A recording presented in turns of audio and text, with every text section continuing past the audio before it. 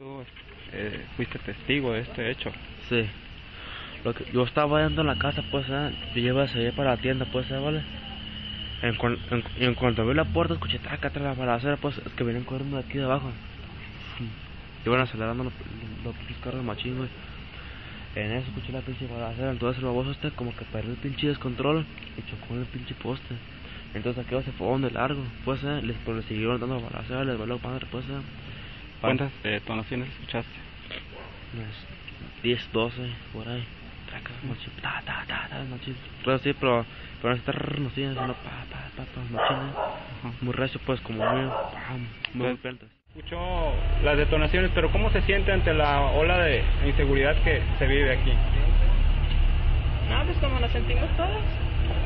Este, que ya no, que ya te pide puede ser seguro. Sí. Como pensamos que antes era el, el, el estado más seguro y, y ahora resulta que no.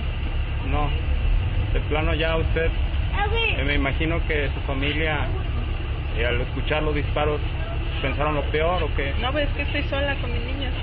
Sí. Por eso, por eso no, por eso pues me dio miedo pues porque pues ya no, ya no podemos salir a la calle a gusto pues porque ya, ya no sabe qué va a pasar, ya no se sabe qué va a pasar, ¿Cómo se siente usted ahorita? pues con miedo.